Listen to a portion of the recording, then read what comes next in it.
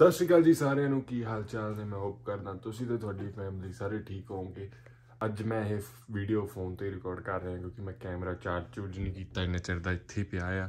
ਤੇ ਕੀ ਕਹਿੰਦੇ ਨਾ ਹੀ ਮੈਂ ਆਪਣਾ ਡਰੋਨ ਚਾਰਜ ਕੀਤਾ, ਮੈਂ ਕੁਝ ਵੀ ਚਾਰਜ ਨਹੀਂ ਕੀਤਾ ਕਿਉਂਕਿ ਮੈਂ ਹਫ਼ਤੇ ਤੋਂ ਵੀਡੀਓ ਨਹੀਂ ਬਣਾਈ, ਸਿਰਫ ਇੱਕ ਦਿਨ ਬਣਾਈ ਸੀ। ਉਦੋਂ ਬੈਟਰੀਆਂ ਬੂਟਰੀਆਂ ਡੈਡ ਕਰਨੀਆਂ ਅੱਜ ਅਸੀਂ ਚੱਲੇ ਆ ਸਟੀ ਸਟੀ ਹੈਗਾ ਆ ਕੋਈ ਸ਼ੋਅ ਆ ਫਾਇਰਵਰਕ ਸ਼ੋਅ ਆ ਕੋਈ। ਤੇ ਉੱਤੇ ਜਾਣਾ ਆ ਤੇ ਫਿਰ ਤਾਂ ਵੀ ਸ਼ਾਇਦ ਦੂਜਾ ਰੀਜ਼ਨ ਇਹ ਆ ਸਿਟੀ 'ਚ ਜਾਣਾ ਤਾਂ ਕਰਕੇ ਕੈਮਰਾ ਨਹੀਂ ਕੱਢਣਾ। ਕਿਉਂਕਿ ਕੈਮਰਾ ਸਿਟੀ 'ਚ ਸੈਟਰਡੇ ਨੂੰ ਥੋੜਾ ਜਿਹਾ ਜ਼ਿਆਦਾ ਰਸ਼ ਹੋਣ ਕਰਕੇ ਸਾਰਿਆਂ ਨੂੰ ਔਖਾ ਹੋ ਜਾਂਦਾ, ਕਈ ਜਗ੍ਹਾ ਤੇ ਫਿਰ ਰਿਕਾਰਡ ਵੀ ਨਹੀਂ ਕਰਨ ਦਿੰਦੇ ਤੇ ਜਾਂ ਫਿਰ ਕਈ ਲੋਕੀ ਉਂਝ ਹੀ ਕੰਫਰਟੇਬਲ ਅਨਕੰਫਰਟੇਬਲ ਹੋ ਜਾਂਦੇ ਨੇ ਤਾਂ ਕਰਕੇ phone is a better option ਉਹਦੀ ਐਕਸਪਲੇਨੇਸ਼ਨ ਮੁਕਾਉਂਦੇ ਹੋਏ, ਹਾਂਜੀ ਸੋ ਅੱਜ ਇੱਕ ਸ਼ੋਅ ਆ, ਉੱਥੇ ਜਾਣਾ ਆ।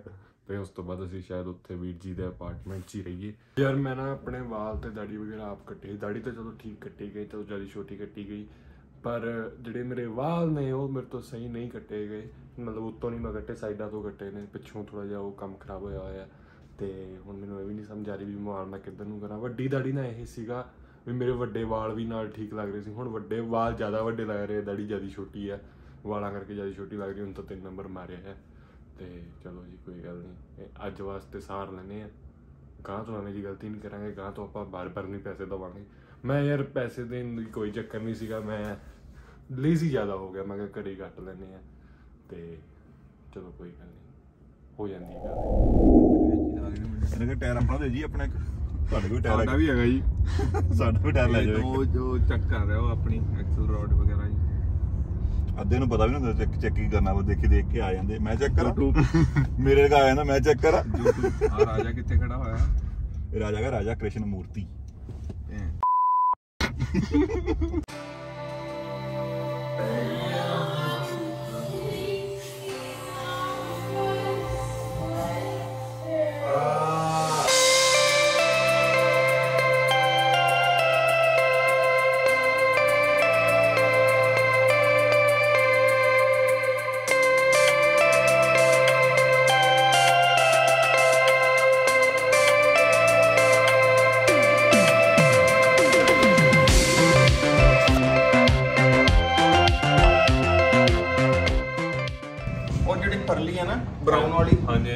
a few million square feet of old post office that is not in use.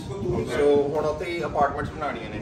ਉਹ ਜਿਹੜੀ ਹਾਂ ਬੈਟਮੈਨ ਵਾਲੀ ਮੂਵੀ ਨਹੀਂ ਸੀ ਜੋਕਰ ਸੀਗਾ ਜਿਹਦੇ ਚੋਂ ਜਿਹੜਾ ਮਰ ਗਿਆ। ਹੀਥ ਲੈਜਰ ਉਹ ਇਹਦੇ ਪਰਲੇ ਪਾਸੇ ਨਾ ਹਾਂ। ਉਹ ਬਲੈਕ ਵਾਲੀ ਬਿਲਡਿੰਗ ਹੈ ਜਿਹੜੀ ਓਪਨਿੰਗ ਉਹਦੀ ਚ ਮੂਵੀ ਚ ਨਹੀਂ ਇੱਕ ਬਿਲਡਿੰਗ ਤੋਂ ਦੂਜੀ ਬਿਲਡਿੰਗ ਤੇ ਰਿਪੈਲ ਕਰਕੇ ਜਾਂਦਾ ਹੈ ਬੰਦਾ। ਦੁਬਾਰਾ ਦੇਖ ਲਈ। ਹਾਂ ਉਹ ਅਹ, ਉਹ ਵਾਲੀਆਂ ਬਿਲਡਿੰਗਸ ਨੇ। ਹਾਂ ਹਾਂ ਹਾਂ ਤਾਂ ਅਦੋਂ ਆ ਬਿਲਡਿੰਗਸ ਨਹੀਂ ਬਣੀਆਂ ਸੀ ਇੱਥੇ. ਸੋ ਜਿਹੜਾ ਹੈਲੀਕਾਪਟਰ ਸੀਗਾ ਨਾ। ਵੀਡੀਓ ਵਾਲਾ ਮੂਵੀ ਵਾਲਾ ਬਾਰਡਰ ਇੱਥੇ ਉਹ ਕਿਉਂਕਿ ਉਹਨਾਂ ਦੀ ਫਿਲਮ ਬੜੀ ਛੇਤੀ ਹਾਂ, ਹਾਂ, ਹਾਂ। 6 ਮਿੰਟ ਦੀ ਫਿਲਮ ਹੁੰਦੀ ਉਹਦੇ ਚ। ਹਾਂਜੀ ਹਾਂਜੀ। ਤੇ ਉਹ ਫਿਰ ਇੱਥੇ ਉਤਰ ਕੇ ਉਹਦੀ ਰੀਲ ਰੂਲ ਬਦਲਦੇ ਸੀਗੇ।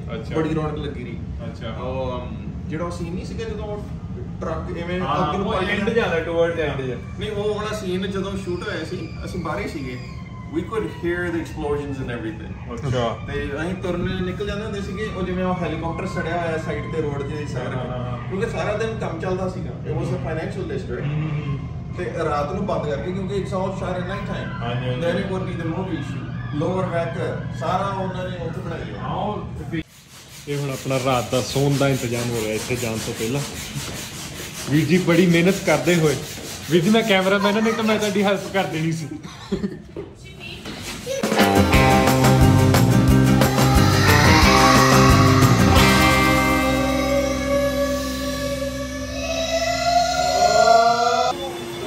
ਵੀਰੇ ਇੰਨੀਆਂ ਉਚਾਈਆਂ ਤੇ ਆ ਕੇ ਕਿਵੇਂ ਲੱਗ ਰਿਹਾ? ਬਹੁਤ ਅੱਛਾ ਲੱਗ ਰਿਹਾ ਹੈ। ਬਹੁਤ ਅੱਛਾ ਲੱਗ ਰਿਹਾ ਹੈ। ਇਹ ਬੈਡ ਬੁੱਡ ਖੁੱਲ ਰਹੇ ਨੇ। ਤਿਆਰੀ ਹੋ ਰਹੀ ਹੈ। ਕੈਂਪਿੰਗ ਲਈ। No no no no high end camping ਹਾਂ ਯਾਰ ਹਾਈ ਐਂਡ ਕੈਂਪਿੰਗ ਕਰਕੇ ਬਾਰਿਸ਼ ਵੀ ਸਾਰਾ ਤੋਂ ਬਚਾ ਰਵੇ ਅਸੀਂ ਅਹ, ਜਿੱਥੇ ਜਾਣਾ ਉੱਥੇ ਜਾਣ ਤੋਂ ਪਹਿਲਾਂ ਕੁਝ ਖਾਣ ਲੈ ਖਾਣ ਨੂੰ ਲੈ ਕੇ ਜਾ ਰਹੇ ਹਾਂ। ਖਾਣ ਨੂੰ ਲੈਣ ਜਾ ਰਹੇ ਹਾਂ। ਆਈ ਮੀਨ ਕੁਝ ਖਾਣ ਜਾ ਰਹੇ ਹਾਂ। ਤੇ ਫਿਰ ਉਸ ਤੋਂ ਬਾਅਦ ਅਸੀਂ ਜਾਂਦੇ ਹਾਂ ਪੋਰਟ ਤੇ। ਇਟਸ ਅ ਫਾਇਰਵਰਕ ਸ਼ੋ ਆਹ ਦੇਖ ਲਓ ਲੋਕਾਂ ਦੀ ਕੈਂਪਿੰਗ ਕਿਤੇ ਹੋਰ ਹੁੰਦੀ ਆ ਸਾਡੇ ਸ਼ਿਕਾਗੋ ਦੀ ਬ੍ਰਿਜਾਂ ਥੱਲੇ ਹੋ ਜਾਂਦੀ ਹੈ we hope to get a house soon ਅਸੀਂ ਉਹਨਾਂ ਦੀ ਕੰਡੀਸ਼ਨ ਤੇ ਨਹੀਂ ਹੱਸ ਰਹੇ ਅਸੀਂ ਸਿਰਫ ਦਿਖਾ ਰਹੇ ਹਾਂ ਵੀ ਇੱਥੇ ਵੀ ਕੈਂਪਿੰਗ ਕੈਂਪਿੰਗ ਵਾਲੇ ਮਤਲਬ ਟੈਂਟ ਜਿਹਾਂ ਦੇ ਵਿੱਚ ਰਹਿ ਰਹੇ ਨੇ ਲੋਕੀ ਆ ਬ੍ਰਿਜ ਦੇ ਥੱਲੇ। ਕਿਉਂ ਨਿੱਕੀ ਨਿੱਕੀਆਂ ਨੇ? Guess. ਗੈਸ ਕਰ ਕੀ ਹੈ ਇਹਦੀਆਂ ਬਾਰੀਆਂ ਕਿਉਂ ਨਿੱਕੀ ਨਿੱਕੀ ਮੇਰੇ ਦੱਸੋ। ਡੀਐਨਏ ਰਿਲੇਟਡ ਲੱਗ ਰਿਹਾ ਜੋਕ ਕੋਈ ਹੈ? ਨਾ। ਨਹੀਂ ਨਹੀਂ। ਜੋਕ ਨਹੀਂ ਹੈ। ਜੇਲ ਹੈ।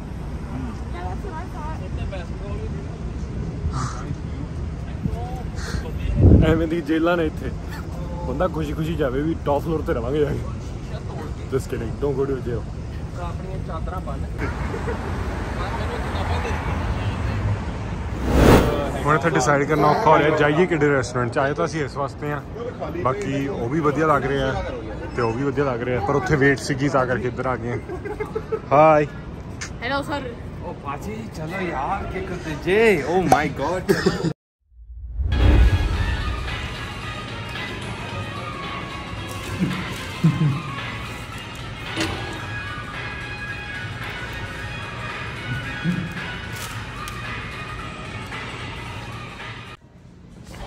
ਫੂਡ ਇੰਨਾ ਵਧੀਆ ਸੀਗਾ ਵੀ ਸਾਨੂੰ ਰਿਕਾਰਡ ਕਰਨਾ ਹੀ ਯਾਦ ਨਹੀਂ ਰਿਹਾ।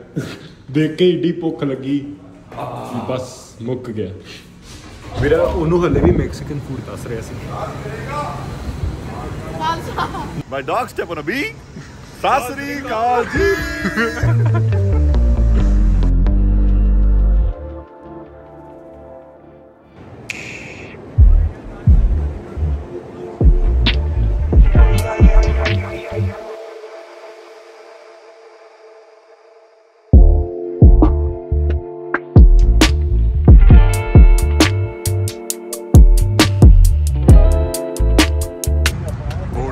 ਬੋਟ ਤਿਆਰ ਹੋ ਰਹੀ ਹੈ ਪਤਾ ਨਹੀਂ ਇਹ ਆਪਣੀਆਂ ਕਿ ਅਗਲੀ ਆਪਣੀ ਹੈ ਪਰ ਅਸੀਂ ਤੇ ਬੈਠੇ ਹਾਂ ਹੁਣ। 9 ਵਜੇ ਚੱਲਣੀ ਆਪਣੇ ਵਾਲੀ, ਇਹ 8:30 ਥੱਲੇ ਹੋਏ ਆ। ਮੇਰੀ ਆਈ ਹੈ।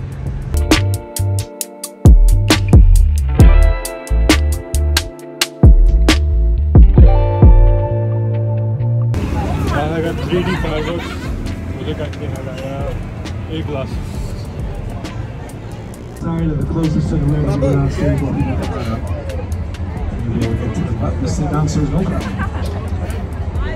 ਬਣੀ ਗੱਲ ਕਿ ਨਹੀਂ ਬਣੀ ਕਿ ਨਵਾਂ ਫੋਨ ਦਈਏ ਨਵਾਂ ਫੋਨ ਦਈਏ ਹੁਣੀ ਲਿਆ pro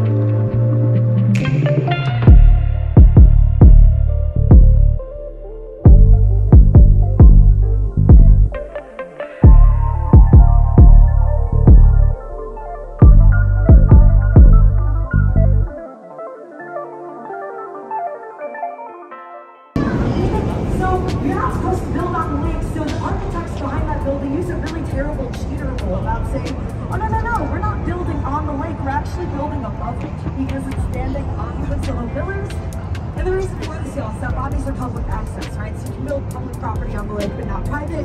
What does this mean in less boring terms for all of us? It means that a bunch of celebrities live in this building because no other building will ever be built right next to it. It's the only one allowed.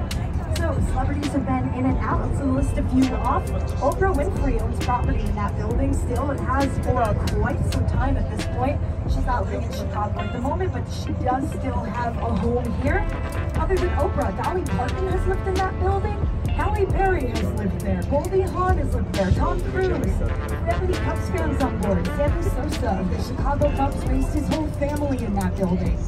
And the reason uh, why so many uh, A-listers, especially movie stars, can go in and out of there is it's a mixture of rented and owned buildings, which all that means is that when a movie is filming in Chicago, they can rent out like a block of the apartments, then put their stars in there and keep them nice and private.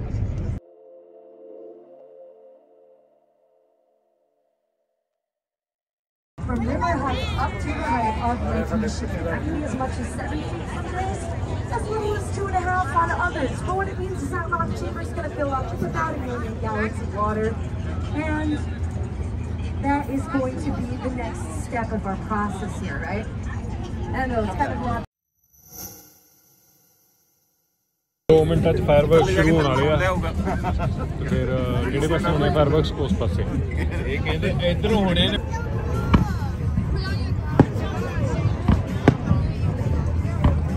ਐਵੇਂ glasses ਨਾਲ ਇਦਾਂ ਦੇਖਦਾ। ਮੈਨੂੰ ਲੱਗਦਾ ਐਨਕਾਂ ਉਹ ਤਾਂ ਹੀ ਫੜਾਈਆਂ ਉਹਨਾਂ ਨੇ।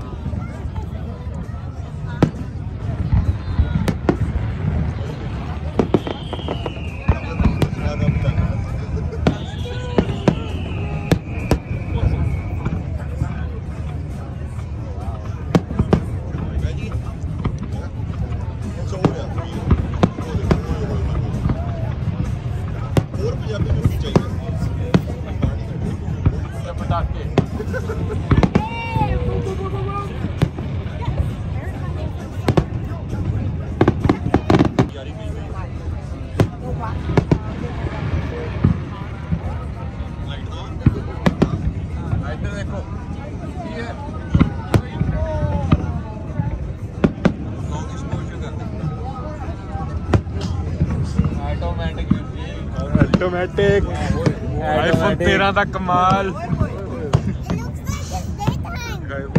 ਹੈ? ਮੈਨੂੰ ਤਾਂ ਸਾਰਾ ਕੁਝ ਚਾਰ ਚਾਰ ਵਾਰੀ ਦੇਖ ਰਿਹਾ ਕਲਾਸਿਸ ਕਰਕੇ।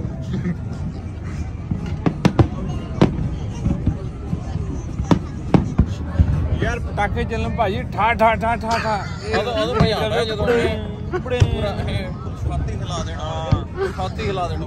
ਜਦ ਤੱਕ ਘੁੰਮ ਨੂੰ ਅੱਗ ਲੱਗੇ ਤਾਂ ਸਵਾਦ ਕੀ ਹੋਰ। ਇਹ ਜਾਵੇ ਹੌਲੀ ਹੌਲੀ ਆ ਗਈ ਬਸ ਫਿਨਾਲੀ ਆ ਚੱਲੀ ਇਹ ਤਾਂ ਪਹਿਲਾਂ ਪਾਣੀ ਚਲਾਇਆ ਨੀਵੇਂ ਚਲਾ ਰਹੇ ਹਨਾ ਇਹ ਭਾ- ਭਾਈ ਪਟਾਕੇ ਕੈਨਸ ਲੱਗ ਰਹੇ ਆ ਚਾਹੇ ਪਤਾ ਕੀ ਆ ਲਾਅ ਹੋਣਾ ਨਾ ਉਦਾਂ ਕੀ ਹੋਣਾ ਲੋ? ਉਦਾਂ ਜਹਾਜ਼ ਤੇ ਬੰਦਾ ਕੋਈ ਲੈਂਡ ਕਰ ਰਿਹਾ ਹੋਇਆ ਇਸ ਵੇਲੇ। ਉਹਨੂੰ ਨਜ਼ਾਰੇ ਆ ਰਹੇ ਹੋਣਗੇ। ਉਹ ਉਹ ਉਹ ਸੀ ਓਏ ਓਏ, ਇਹਦੀ ਆਵਾਜ਼ ਆਉਂਦੀ ਮੋਟਾ ਪਟਾਕਾ ਚੱਲ ਰਿਹਾ ਆਲੂ ਆਮ ਚੱਲ ਪਿਆ। ਵੀ ਸੁਣੂਗਾ ਆ ਗਈ ਫਿਨਾਲੀ ਆ ਗਈ ਲੈ ਲੈ ਇਹਦੀ ਗੱਲ ਕਰ ਰਹੇ। ਹਾਂ ਹਾਂ ਇਹਦੀ ਗੱਲ ਇਹ ਲਗਾਤਾਰ ਤਾਂ ਹੀ ਤਾਂ ਹੀ ਜਵਾਬ ਆਉਂਦਾ ਰੈਪਿਡ ਫਾਇਰ। ਯਾਰ ਪਟਾਕੇ ਚੱਲਣ ਭਾਜੀ ਠਾ ਠਾ ਠਾ ਠਾ ਠਾ ਠਾ ਠਾ ਠਾ ਠਾ ਠਾ ਠਾ ਠਾ ਠਾ ਠਾ ਠਾਠ ਠਾਠ ਠਾਠ ਠਾਠ।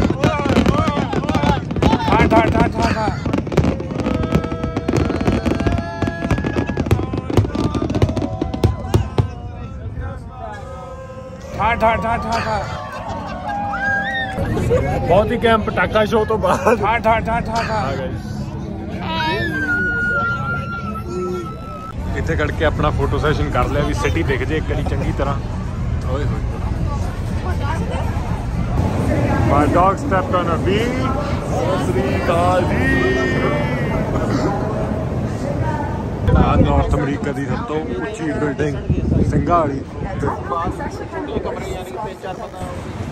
ਚਲੋ ਜੀ ਅਸੀਂ ਬੋਟ ਤੋਂ ਆ ਗਏ ਤੇ ਹੁਣ ਅਸੀਂ ਚੱਲੇ ਆ ਅਪਾਰਟਮੈਂਟ ਚ ਵਾਪਸ ਵੀਰ ਜੀ ਦੇ ਤੇ ਉਸ ਤੋਂ ਬਾਅਦ ਅਸੀਂ ਜਾਣਾ ਖਾਣ ਰੋਟੀ ਡਿਵੌਨ ਸਟਰੀਟ ਤੇ ਪਾਕਿਸਤਾਨ ਸਲੈਸ਼ ਇੰਡੀਅਨ ਸਟਰੀਟ ਉਂਝ ਤਾਂ ਡੈਵਨ ਹੈ ਉਹਦਾ ਨਾਮ ਪਰ ਹੁਣ ਡਿਵੌਨ ਸਟਰੀਟ ਬਣ ਗਈ ਕਿਉਂਕਿ ਇੰਡੀਅਨਸ ਨੇ ਡੇਰਾ ਲਾ ਲਿਆ ਉੱਥੇ ਤੇ ਪਾਕਿਸਤਾਨੀਆਂ ਨੇ।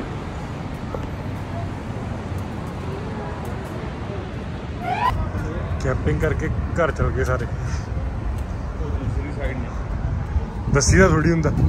ਯਾਰ ਫਿਰ ਵੀ ਇਨਫੋਰਮੇਟਿਵ ਵੀਡੀਓ ਹੁੰਦੀ ਹੈ ਤੇਰੀ। ਆਹੋ ਚਲੋ ਸਹੀ ਆਪਾਂ ਹੁਣ ਦੂਜੇ ਪਾਸੇ ਆ ਇਹ ਖਾਲੀ ਆ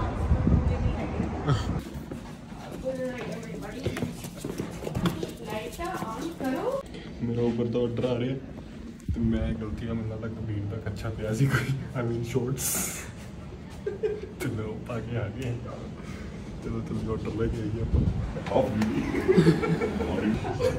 ਦਿੱਤੇ ਪਾਣਾ ਕਿ ਮੈਂ ਔਖਾ ਸੀ ਸਿਰੇ ਤੇ ਨੰਗ ਲੱਗ ਰਹੇ। ਯਾਰ ਇਹ ਇਹ ਮੈਂ ਪਿਛਲੀ ਵਾਰ ਇਹਨੇ ਸਾਨੂੰ ਸਾਫ਼ ਨੌਵੇਂ ਨਿਕਲੀ ਹੈ floor- ਮੈਂ ਜੀ, ਠੀਕ ਹੈ ਇਹਨੇ ਪਿਛਲੀ ਵਾਰ ਸਾਨੂੰ 9ਵੇਂ ਫਲੋਰ ਤੇ ਲਾਇਆ। ਫਿਰ ਜਦ ਵਾਪਸ ਆਇਆ 10ਵੇਂ ਤੋਂ ਹੁਣ 11ਵੇਂ ਤੋਂ ਸ਼ੁਰੂ ਹੋਈ ਹੈ। ਬੜੇ ਫਿਰ ਇੱਕ ਕਲਾਸ ਅੱਗੇ ਵੱਧਦੀ ਆ।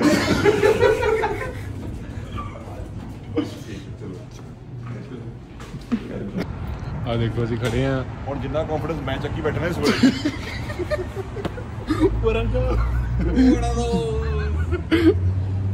11 11 ਪਹਿਲਾ ਇੰਡੀਅਨ ਖਾਨ ਦਾ ਪ੍ਰੋਗਰਾਮ ਸੀਗਾ ਕੈਲੀ ਦੇ ਚੱਕਰ ਚ ਕੈਲੀ ਵਾਲੇ ਪ੍ਰਾਈਸ ਤਾਂ ਹੀ ਫੂਡ ਆਇਆ ਸਾਡਾ। ਯਾ